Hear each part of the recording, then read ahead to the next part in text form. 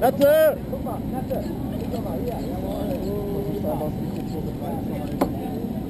Was ist mit eurer Kamera da? Ja? Kriegt ihr die nur rüber? Haltet eure Mikros mit rein. Natze, Anja!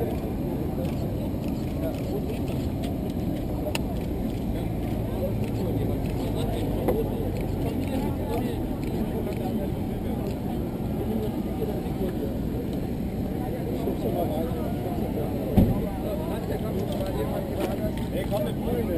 Erstmal herzlichen Glückwunsch auch von uns. Ja, danke. Wie, ist denn, wie wurde denn die letzte Nacht gefeiert? Wie habt ihr das denn jetzt alles aufgenommen und wie die Halle Ja, ist einfach halt, äh, den ganzen Tag durchgefeiert und äh, cool sind wir dann nochmal alle zusammen See gesprungen. Und äh, ja, im Flieger war irgendwie Totenstille, weil alle total müde waren logischerweise. Aber es war eine grandiose Nacht, wir haben total viel Spaß gehabt, wir haben richtig abgerockt und es war richtig cool. Sie natürlich äh, hauptverantwortlich mit dem Team, mit, mit dem Team. Wie Ja. ihr denn die Mannschaft? Wir haben uns, wir haben uns gestern äh, selbst gefeiert, also natürlich wurden dann ab und zu mal Lieder von Anja und ich angespielt, aber ja, generell haben wir uns dann als Team gefeiert.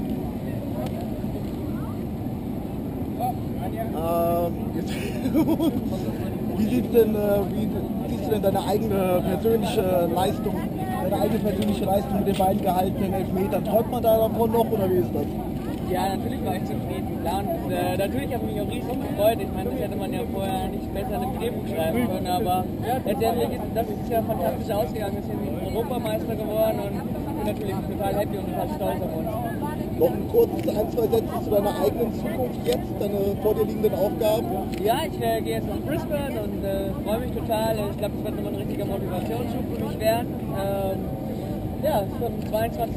September geht's los und äh, ich freue mich richtig auf Australien. Okay, danke. Bitte.